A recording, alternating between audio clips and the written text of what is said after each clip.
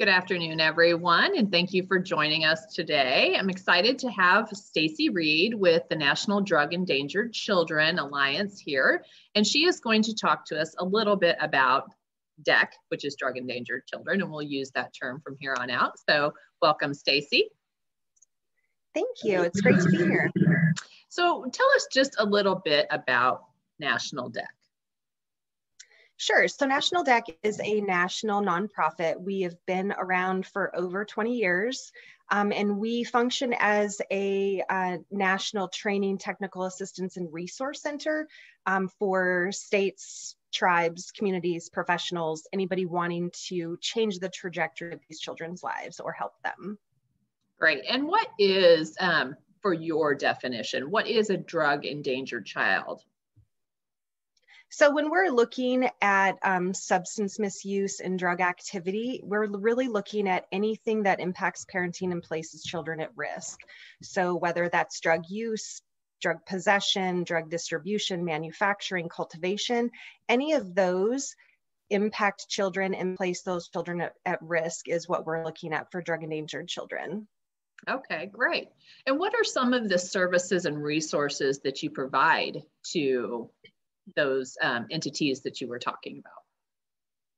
Sure. So we provide a lot of different things depending on the need of whether it's a person calling or um, a specific agency, or maybe it's a community that needs help, or maybe it's a multidisciplinary team or an alliance that's already established. And we can provide them with different things. Um, if people look at our website, there's lots of different resources, um, data, information. If people are looking at enhancing their multidisciplinary team or coalition or alliance, um, or developing one of those in their community, we have a roadmap and toolkit that can help them with that. And that includes a lot of free items such as brochures and one pagers, different handouts with different information, whether they're looking for um, awareness pieces, how to make the community aware, or whether they're looking at implementing promising practices, or maybe even institutionalizing DEC efforts within their community. So there's a wide array of items that we can provide um, we also provide a lot of training. Obviously, right now it's virtual, um, mm-hmm. but we do provide a lot of the virtual um, training, in person training when we're not impacted by a pandemic. And then we also provide a lot of technical assistance, um, and a lot of that is virtual as well um, through a podcast, through um, Zoom calls, and those kinds of things. And then lots of resources. And um, I think one great thing about National DEC too is we can connect people with lots of different experts in a lot of different areas around substance misuse and its impact. And I know you guys recently developed a couple new tools. So you want to talk about those just a little bit? Sure. Um, I can start with talking about our um, online training. Um, that we have four modules of online training through the Community Oriented Policing Services Office, which is the COPS office at the federal level. Keep in mind too that we didn't develop it just for law enforcement. It was developed for um, every discipline that can impact children. Um, and so there are four modules that are about 30 minutes piece. You can connect through our website um, at nationaldec.org. They are free um, they're a great resource to get people started and just to provide some information. We also have um, been working on a mobile application through the Office of Victims of Crime, and that's kind of a, a current project that we have that people um, will notice going out in information going out via our social media and our website as well. But we're developing an app for victims and professionals um, and people who can support those children um, as victims as well. So it'll provide lots of information. But the cool thing is, is it's going to um, provide um, easy access to information in their zip code. So they'll be able to download the app in their zip code. Will pop up with lots of different resources within their area.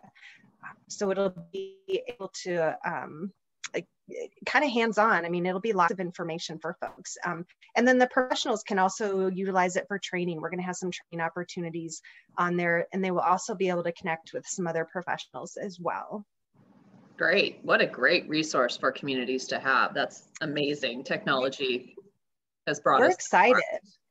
Yeah. Yeah we're excited. I would highly recommend people look on our facebook page um, and our website for some surveys that we're doing. Um, we've sent out the surveys to and put them up for people to send out to other people. We're just looking for feedback as to what people are wanting and what people think would be useful for the app. So highly recommend that um, everybody fill that out because everybody i think is pretty much impacted by substance misuse um, in some way Mm-hmm. And while I'm thinking of it, what is your website? I'll drop it in the comments when we're done, but what is your website?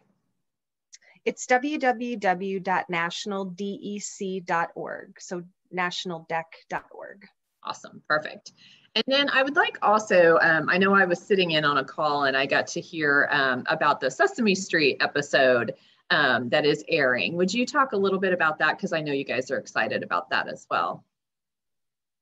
We are. It was a great partnership with Sesame and Sesame Street in Communities, um, which is a subset of Sesame Street that that we all knew as children. And so it's an online form um, of you know to provide information to children and families on a multitude of um, different topics we were lucky enough to work with them um, and task as well on a law enforcement um, video. And so we utilized one of our DEC partners out of Okaloosa County, Florida, um, and she helped us that officer helped us um, develop this video for um, to inform people about law enforcement and how law enforcement can help in DEC efforts and can help children and how law enforcement are really looking at uh, drug endangered children issues differently mm-hmm. um, and, and and how that can impact children then also how um, the diversion piece, which was the task piece of that,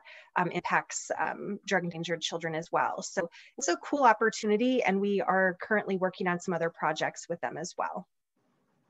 Great, that is exciting. Um, love to see the Sesame Street involvement with that. Um, how many, approximately how many states are you guys like in as far as the drug endangered children, either helping out or have alliances or reach? So I can't I can't think of a state that we're not in. I think um, we are doing some type of DEC efforts in every state. Now, that doesn't mean that every state will have a formalized state DEC effort. Um, we have 32 states that have state efforts that are formalized. Um, but even in the states that don't, we have local and tribal DEC efforts. And oftentimes we're just doing training and technical assistance with various communities, even if they don't have a local, tribal, or state DEC alliance.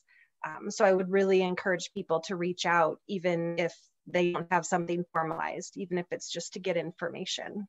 So yeah, if somebody sees this and thinks, I want to know if that's in my state or I want to start one, they can contact National DEC at nationaldec.org and you guys will yes. point them in the right direction.